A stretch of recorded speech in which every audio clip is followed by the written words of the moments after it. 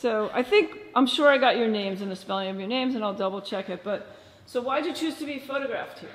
Um, because this is the place where we base our operations out of, and the Cayuga Heights Fire Department is a very important part of this community, and that's why we chose to get photographed here.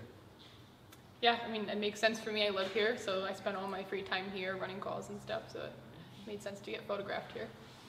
And if you want to add a little bit more about what, you know, what does it mean being a fire chief or this place? Um, Uh, it's a great group of individuals who volunteer their time here at the fire department, uh, even through this crisis. Um, we are not lacking for volunteers.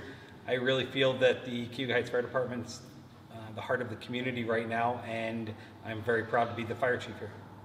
Yeah, one big family. Good job.